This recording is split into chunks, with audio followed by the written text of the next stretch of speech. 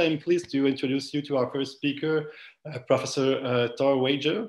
Uh, Dr. Wager is a Diana L. Taylor uh, Distinguished Professor in Neuroscience at uh, Dartmouth uh, College.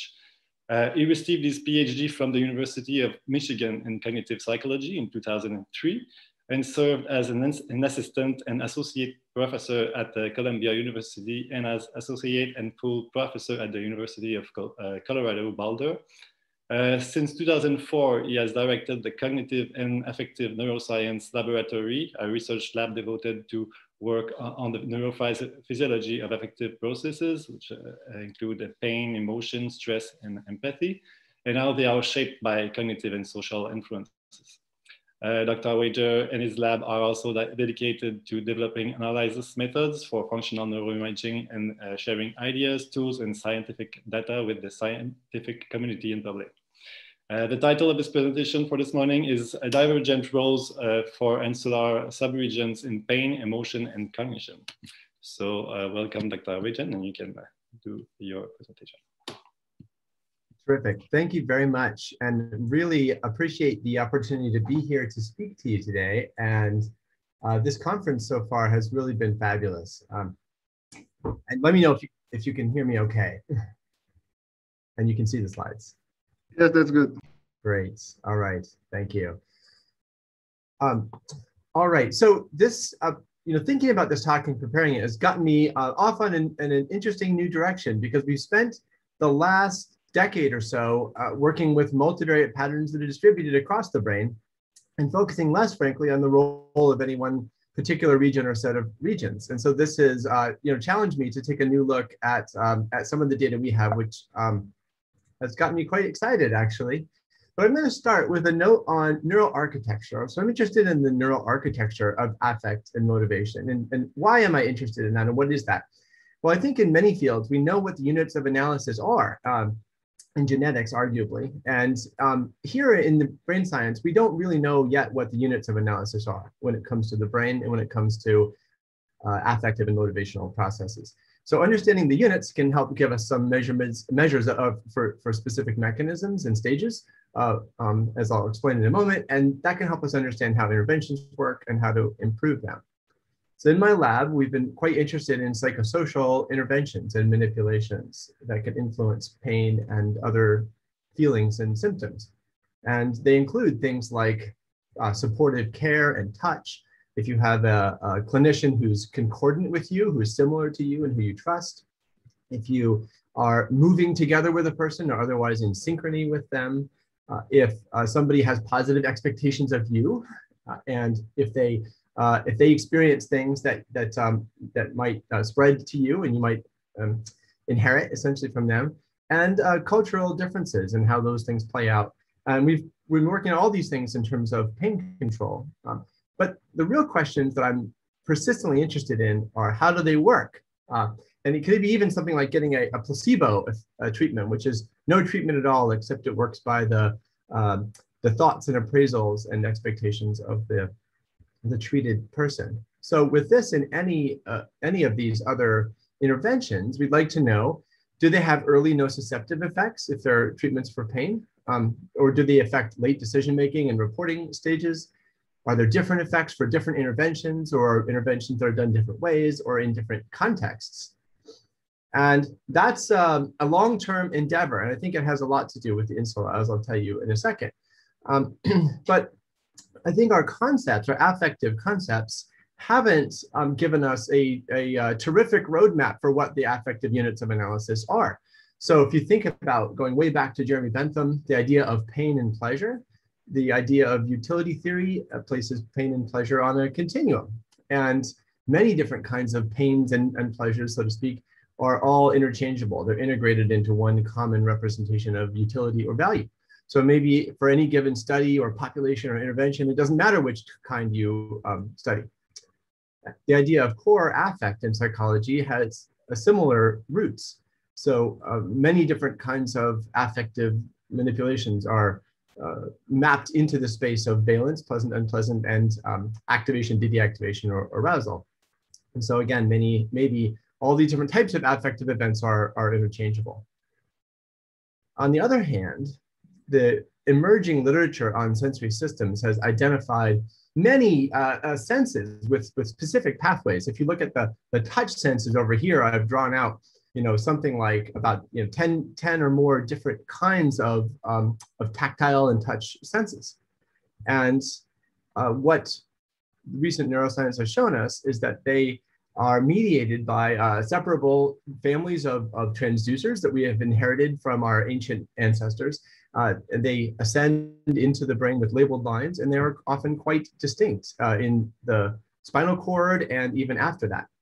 And so, um, for example, if you're uh, a rodent and you are of one particular strain or another, which you see here on this axis, and you're, you know, the, the type of um, sensitivity you have to, let's say, heat pain on the top here is quite different than the type of sensitivity you had to a mechanical uh, painful stimulus on the bottom. In fact, there's almost no relationship. And this is work from Jeff Mogil's lab uh, from back some time. So maybe different types of pain and affect are not interchangeable and we need to differentiate. And this is what I mean by the units of analysis. So you can imagine different types of architectures. You can imagine one where there's a common value representation. So multiple types of somatosensory events, heat and pressure, that's a rock, and visceral pain, uh, also vicarious pain. If you see here in the bottom left, this is a, oh, makes my stomach uh, turn, you know, uh, might activate sort of the same um, representation in the, the brain and mind um, social pain of rejection. And um, if it's just everything bad, maybe other types of aversive events, you know, uh, uh, this dirty toilet or math, I don't like math. And from this common representation of value comes various kinds of decision making, uh, awareness, and then communication and self report and, and learning effects and so on. Um, there might be a common representation for pain affect where all these types of somatosensory um, things come together in a common representation, as well as other kinds of psychological pains, um, but not other kinds of, of, immersive or emotional events. And that's certainly been the basis of um, theorizing over the, the past years, where in the anterior insula, for example, and cingulate, there's been proposed to be a, a common representation for um, for pain. Uh, and that stretches across observed pain or vicarious pain, you see here on the top from Tanya Singer's work, and uh, social pain of rejection, as you see here from Naomi Eisenberger's work on the bottom.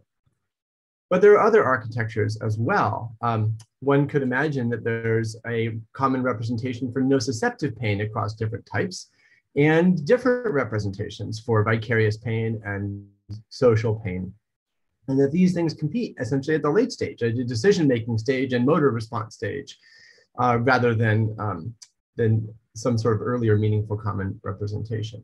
And finally, there might be separate representations all the way up into the cortex, uh, including the insula, uh, with competition again at their the, the late stages of, of processing. And I wanted to illustrate this to show you that this is really a hard problem. I don't think we have it figured out. Uh, and that's what we've been working on. I think the idea of insular subdivisions, which is the next part of the talk, um, is really an important one for helping to understand uh, how to break these uh, various processes up into stages. So there are, are now many um, wonderful ways of breaking up the insula into uh, sub-regions. They can be based on anatomy, like you see here in gyri, uh, based on um, multimodal connectivity in this Glasser atlas, based on co-activation with neurosynth, um, based on uh, resting state ICA networks, um, and other, other kinds of clustering based on uh, connectivity as well. Um, those are the BrainNetome and the Shen atlases. Um, and by the way, all of these are available to, to download in our core tools, and um, some of the authors who published these things have, have shared them with us. And so it's easy to, to recreate this kind of diagram uh, and apply those as regions of interest. Uh, but again, what are the units of analysis exactly? I'm just going to explore this. They could be the gross anatomical region, as all these parcellations suggest. It might be multivoxel patterns within those regions that, that uh, convey particular, more uh, subtle information, or it might be the community that, um, that each of these regions uh, participates in that really defines the function uh, as we know that the insular, insular connectivity changes. And, and with pain, for example, you integrate multiple systems into a, a larger units. Um, so the resting state networks don't uh, quite apply. Um, and when we think about insular subdivisions, this kind of takes me way back to some really early work um, that I did. Uh, and this is a, a, parcellation of the insula based on Mesulam and Mufson's work inside of architecture and looking at different uh, varieties of, of uh, you know, connectivity with different areas um, before the advent of modern connectomics. But it was a, you know, a pretty interesting and I think useful subdivision into four parts on each side. Um, a posterior part in uh, our green here, and this is a, an early meta-analysis across hand-coded studies, um, where this posterior insula responds um, as a real grouping for, for pain, and see, you can see pain activates all these divisions. Um, there's a mid-insula, which is activated by pain and other emotional tasks, and the anterior insula, the dorsal and ventral anterior insula, where the ventral part is predominantly activated by emotion, uh, emotion-related studies that are not pain, uh, and the, the dorsal part in yellow is activated predominantly by uh, uh, studies of attention shifting and working memory, so so-called executive functions or cognitive control. And the idea that we had from this early work, uh, which I think carries some utility, so I'm going to bring it forward now, is that um, there is a, a, a, pathway in the insula that connects these early sensory representations. So the, the green area would be um, specific for nociceptive pain, and it would project forward into the anterior insula, which is really not so much about the sensation anymore, um, but it's actually about communicating with the, the cortex, the lateral prefrontal cortex, uh, to um, in, uh, shape goals, the formation of goals, and guide motivated action. Uh, and so that's there's a there's the proposal that there's a separate um, sensory pathway for nociception and pain in you know from the posterior insula forward and then on into the cortex and a different one for other types of appetitive motivation. And for example, um, receiving different inputs from the nucleus tractus solitarius here into the ventral uh, insula, which might be important for appetitive motivation uh, in the ventral striatum, as we heard um, beautifully yesterday from Alain. Uh, and this early hand-coded meta-analytic work uh, suggests that there is um, quite a bit of specificity in the posterior insula, including here S2 and posterior insula for, uh, for pain. And you can see um, from a series of meta-analytic databases, there's this emotion, this is cognitive inhibition, a form of cognitive control, long-term memory, pain, shifting attention, and, and working memory. We can calculate the positive predictive value for um, if if uh, we activate this these areas that you see here in, in S2 and posterior insula, what's the probability that it's a pain task instead of something else? And here the positive predictive value is uh, nearly 90%. Uh, but the anterior insula, of course, is, is not specific. Um, and neither is the dorsal anterior cingulate. And these are often uh, co-activated and connected. So you can see it responds broadly across all of these different manipulations. Uh, and um, I want to spend a little bit of time on this because I think this really holds water in terms of uh, in terms of a concept that we can start to test with interventions. That's where I'm heading later. Uh, but I wanted to talk a little bit about a very influential theory that Bud Craig put forward, which is essentially that the posterior insula here that you see here is um, is really about thermosensory or other perhaps other somatic sensory um, perceptions and it's the anterior insula that tracks the reported experience, the pain. And from that, he came up with this, this uh, overarching theory that the anterior insula is important for human awareness. And so you see all these different uh, um, studies here that he's collected that, that seem to activate the anterior insula to some approximation. Uh, and and he, his claim is, is that this is what mediates uh, the subjective awareness of, of pain, but also other experiences. And I wanted to argue uh, against this idea, uh, as, as nice as it is in many respects. Um, so this is his Nature Neuroscience paper from 2000 with, with 10 people, and you, you can see the sort of level of approximation.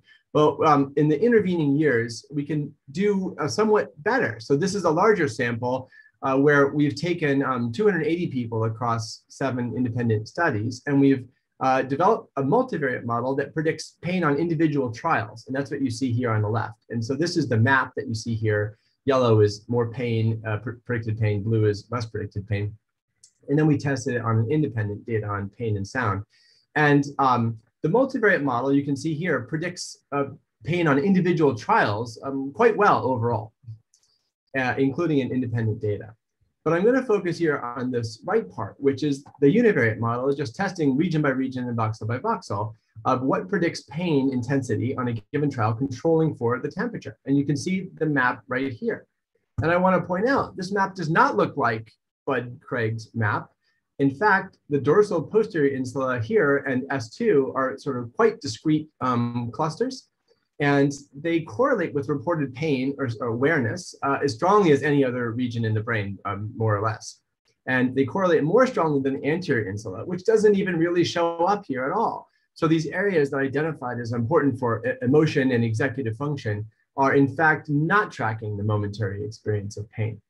So I think of this as a, a revision of that story that, um, that tells, makes sort of an important point. And the point is that these representations are more separate than we thought. It does, it's not as though everything converges on the dorsal anterior insula. And the mid insula is more important. Another view we can take is from uh, neurosynth.org, which came up yesterday as well. Um, and this is a database that, that Tal Yarkoni built um, some years ago now while he was in the lab. And he um, collected coordinates from now there's over 14,000 neuroimaging studies, as well as the words and the topics used in all of those studies. And so one can um, do a, a term-based search for various kinds of terms. And this is a map of essentially what people are talking about when they, in the paper, when they they find you know the, uh, these these types of maps. Um, and you can enter maps in and do a, a, decoding analysis and say what are the top terms associated with this um, uh, any particular map. So Luke Chang uh, published a paper a few years ago that looks at um, insula subdivisions, and what he did is use that neurosynth database and cluster um, the insular voxels based on the co-activation with other systems. And he ended up with a, a three uh, region parcellation, so it's fairly coarse, but it does have the basic ingredients that map on uh, to this, this concept that I was talking about before. Um, and um, I think this also maps on really quite well to the, to the um, beautiful work on, on stimulation uh, that we heard from yesterday as well from, from Philippe, that the posterior insula, uh, it, it um, tracks things that are associated with pain, somatosensory and sensory motor, uh, mainly, and there's some confusion with auditory uh, areas here. Uh, and the dorsal posterior insula, executive function, switching, inhibition, processing, conflict, feedback, uh, and the ventral anterior insula, olfaction, anxiety, face, gustation, emotion. So it's, it's quite a nice division. He also looked at um, connectivity, so both resting state connectivity you see here on the left, and co-activation in the neurosynth database that you see here on the right. And uh, these tell a broadly similar story. I, I, would say these these maps um, could you know could be further refined today, but uh, but the idea is that the posterior insula communicates with this sensory motor system that you see here, uh, and the paracentral lobule and uh, lateral somatosensory uh, areas and so forth. Whereas um, let's say the the emotion related map or the ventral anterior insula co-activates with the amygdala, the orbitofrontal cortex, uh, and basal forebrain, and and um, um, other areas. And here's a here's a map here of what their associates are too: anxiety, emotion, face, etc. Okay. Uh, and that was largely true. And of course, the the uh, dorsal anterior insula is most connected to um, lateral frontal parietal areas that are involved in cognitive control. And I'd like to show you a little bit about the basal ganglia because this also came up yesterday that we can integrate the basal ganglia in the circuit so this is a slightly later version of the database uh, across nearly 6,000 studies. And Wolfgang Pauli took these and looked at co-activation across studies. And what he did was he parcellated the basal ganglia based on co-activation with the cortex, um, much as, as Luke did earlier. And he ends up with a multi-resolution clustering so that there are different um, um, topics that are associated with each uh, cluster. And so you can see some of these topics here, and I'll, I'll go over them in a second. But he ended up, you know, with uh, five different zones, um, each one associated with a different cortical network. And you can see those here. Of course, there's there's that's a little bit arbitrary. So there's also you know a 17 cluster solution and, and other resolutions as well. But but five was a, a, a pretty reasonable um, subdivision for functional imaging data. And these, um, you know, this gives you a slightly different uh, um, position than early work by, for example, Peter Strick, um, uh, Alexander and Strick with this, this classic idea of different kinds of motor um, maps that go through the basal ganglia, so motor, ocular motor, um, and then the various prefrontal and, and cingulate loops. And it really maps in some of the human concepts that we uh, care about. So in fact, from the patterns of um, topics associated with these different maps, we group them into several um, groups, five groups. So um, the, the anterior one is about the immediate stimulus value and then action value and, and motivation, updating, uh, go, and so I'm moving from front to back. Executive function and, and control of action policies uh, is the third one. And as we're moving back again, um, social and language function and action implementation. So there's lots of loading on things like uh, uh, words and pseudo words and so forth. And then um, finally, in the back, we're, we're back in the, the sensory domain, so stable sensory motor um, biases in the posterior part of the striata. And that matters for us here for two reasons. One is that we can also uh, look at the associations with the insula. And what Wolfe did was he looked, he actually developed a statistical technique that identified the cortical voxels that are more strongly connected with any one striatal cluster than any other, uh, with each striatal cluster than any other cluster. So this is a map where, um, say, these blue areas here in the ventral anterior insula are um, more connected with this blue striatal zone in the anterior putamen than any other part of the striatum, and so forth for the other clusters. And you can see that there's a, a topography in the um, in the insula as well, uh, going from anterior to uh, posterior.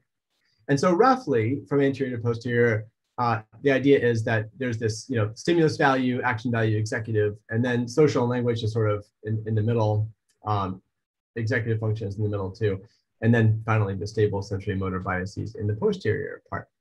So that's another way of thinking about the organization of, of the insula.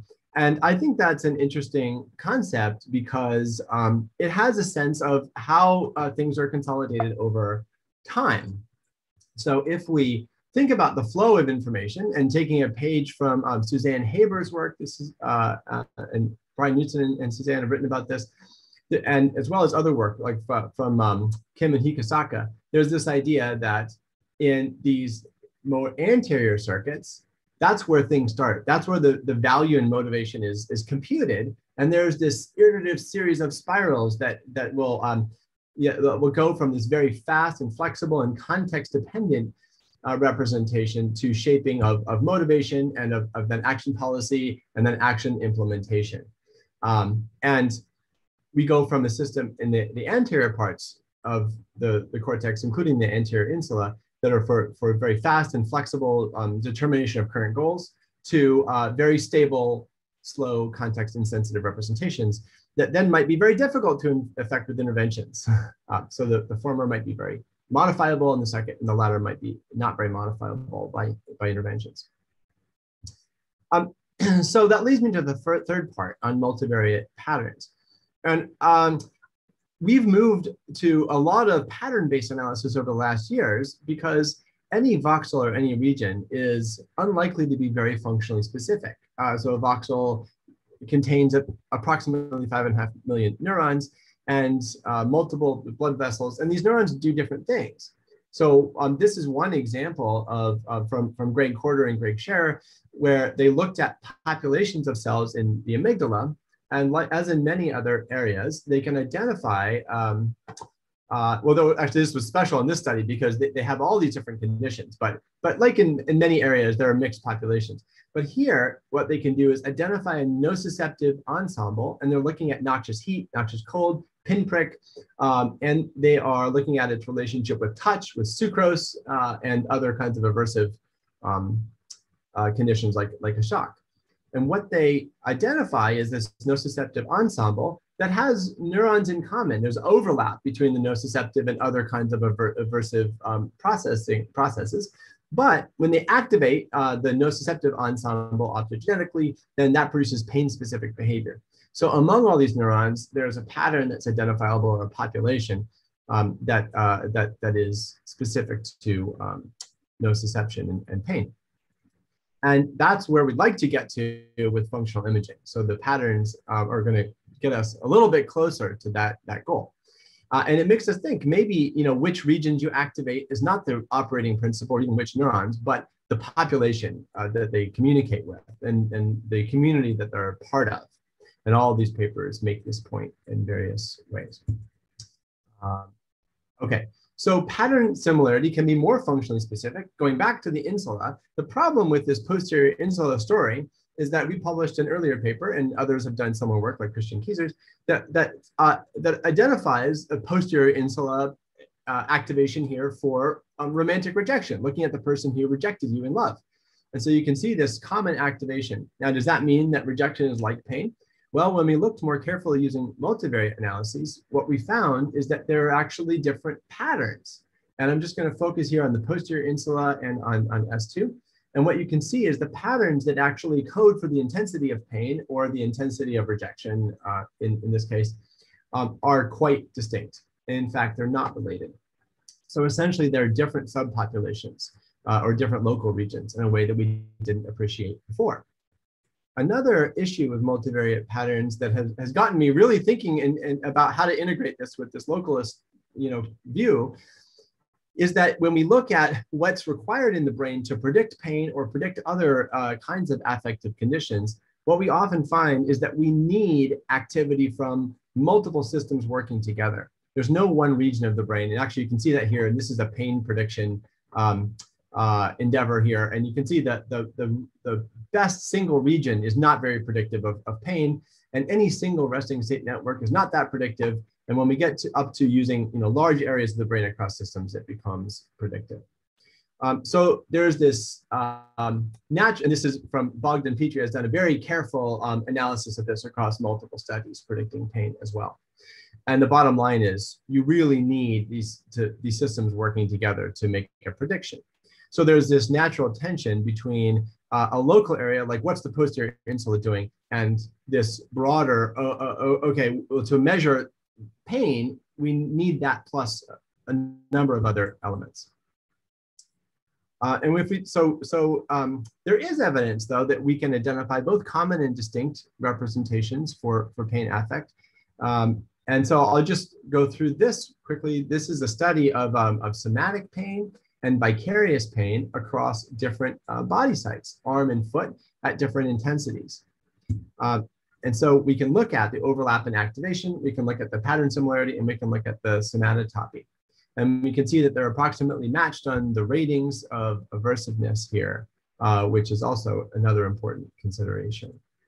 And if we look at the whole brain level, we can identify a pattern, which we call the neurologic pain signature, and we validate it in various ways, which is a different, different talk, but it responds only to um, the heat pain, uh, and it tracks the intensity and pain reports, but it doesn't respond to observed pain or vicarious pain. Uh, and we can identify a vicarious pain signature that has the opposite property. It tracks the intensity and correlates with the, the, the reported aversion for vicarious pain that you see here in purple, but doesn't respond at all to, um, to self pain or heat pain. Uh, and that pattern of separate modifiability lets us know that they're dissociable at the whole brain pattern level. But now, if I turn back to the insula, what have we learned about, about the insula from this? Well, um, the insula has a known somatotopy, again, in the posterior insula for upper and lower limb. And we see that with, with somatic pain. But we don't see that somatotopy at all with um, vicarious pain. And that's also true of the uh, lateral sensory motor cortex. Um, okay, so, we, so there's quite a bit of specificity. On the other hand, uh, Feng Zhou recently published a study with a really large attempt to develop a generalizable pattern for um, shared pain affect. And he finds one. So this is, you know, a, a pattern that codes for pain affect when you're looking at other people uh, injuring themselves here. So that's observed pain. And when you're looking at pain facial expressions here. And the patterns that are predictive of those are shared in insula there. Um, uh, and an interesting point here is that this particular pattern representation doesn't respond to other kinds of emotional images, IAPS images. So this isn't tracking general negativity. That's the closest thing we found so far to something that's actually tracking common pain uh, affect. And there's this particular part of the anterior mid insula that you can see down here, then that's that's uh, tracking that that shared pain affect representation. Uh, okay, so um, and it was also associated in neurosynth with painful things, and it tracked somatic pain as well. So it does seem to be a shared representation. Um, and let's contrast that with another multivariate pattern that's designed to predict guilt-related behavior. So in this, these paradigms, there's two studies, and you judge the number of dots, larger or smaller. And the operative condition in both of them is, is where the participant makes an error and the uh, another player gets punished for that error. So those are the conditions that can create uh, guilt. Um, and we identified a pattern that responds specifically to these guilt-inducing conditions across among many others. And um, you can see uh, the, the significant parts of that pattern here. And I'm going to focus here on the anterior insula pattern. So now we're in the ventral anterior insula and operculum. So that's actually a different uh, part of, of the insula.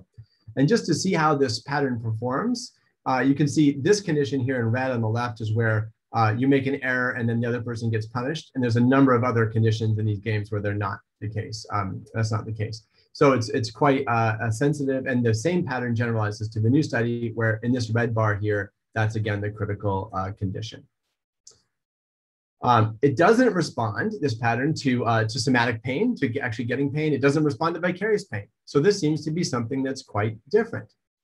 Uh, and if we put this, these pieces together, I think we have evidence for different patterns for different affective responses in the local, uh, in, in the insula. So, so these are two pain patterns uh, that predict pain intensity. This is one I showed you before, but you can see both posterior and this uh, mid-insula dorsal and ventral aspect. And the SIIPS is predicting pain intensity when you control for the stimulus and remove, um, remove all the effects of stimulus intensity. You can see the same pattern uh, similarly. Um, but the pain affect pattern hits uh, essentially part of that, arguably, the, the anterior part of the mid-insula might be a shared uh, representation. And um, this, uh, uh, the guilt behavior pattern is tracking something that's uh, uh, likely quite different. It's really more ventral anterior insula. So that actually conforms roughly to this, um, this initial uh, concept. Okay, so just to drop now as I wrap up here on understanding interventions. So at the end of the day, we'd like to understand uh, from the brain what's happening with an intervention. And this is really a challenge. We've been studying placebo effects for the last uh, uh 15 years or, or, so. And there are, are, patterns of activity decreases during pain with a placebo that you see here in blue and increases that you see in red. And they fall into, uh, the decreases fall into several categories. So it looks like placebo reduces pain in the anterior insula here, uh, in the uh, anterior cingulate cortex in the medial thalamus. But um, posterior insular uh, decreases have been um, much less well established. It has, hasn't been very clear. So in this study, uh, final study, which is a, a really wonderful uh, collaboration across many groups, we pooled together 600 um, people's data. We can look at what happens when um, people get pain of multiple types.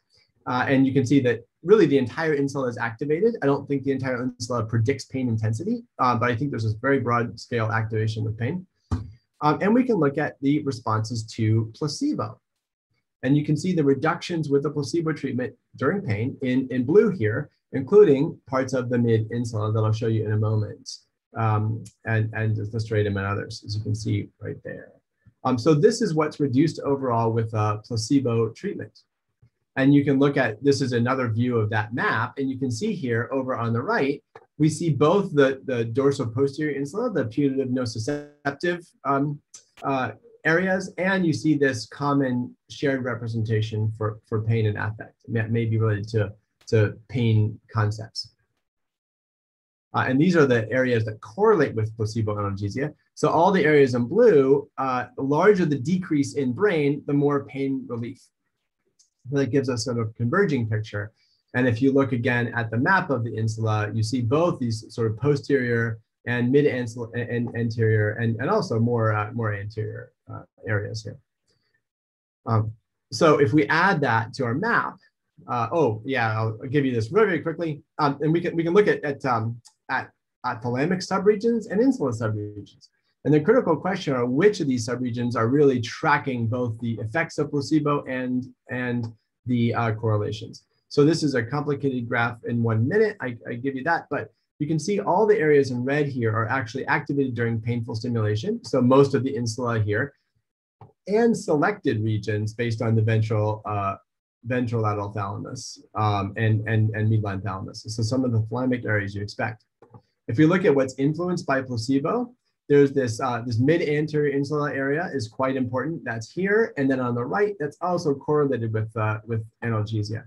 So that's one of the really key areas uh, for, for placebo effects. And we see parallel effects in the thalamus on some of these um, uh, sensory areas. It turns out the ventrolateral thalamus also shows effects of placebo, of placebo that are correlated. That's right in, in here, if you can see my cursor. And that is, in fact, in fact, the input nucleus to the dorsal posterior insula. So we can move towards identifying this, this pathway and then establishing that a placebo treatment really can, in some cases at least, or some individuals, um, uh, you know, in uh, alter activity in that, that pathway. So if we put this into our picture, we see these pain-related uh, patterns here in the, in the posterior insula uh, and, and mid-insula, and we see placebo effects on um, some of those, those same areas. Okay, that brings me to the end of the talk. Um, I've talked about the importance of architecture and how we're actually quite far from establishing a, a, definitive architecture, how looking at insular subdivisions can be particularly informative, especially in the, the domain of pain, because there do seem to be different uh, subdivisions that have very different properties in how they encode pain versus other affective events. And um, I talked about how we can use multivariate patterns and we can identify both a, a pain-specific posterior insula representation and a mid-insula uh, uh, shared representation for pain affect potentially, and how the anterior insula isn't really in, involved in the same way that we that we uh, assumed that it would be um, uh, in these early studies once we look at larger samples and more precise definition. And finally, I showed you an example where uh, when we have sufficient power, we can start to really um, develop a better map of how placebo effects work and how that might be influencing the pathways that are involved in, in uh, constructing pain from the ventroposterior thalamus to uh, the posterior insula, as well as more anterior insular subdivisions. Um, so with that, I'm just going to say thank you to my, my lab and my former lab and my collaborators uh, who've been really fabulous and, and many others actually who are not, not shown here. Thanks to our funders and thank you for your attention.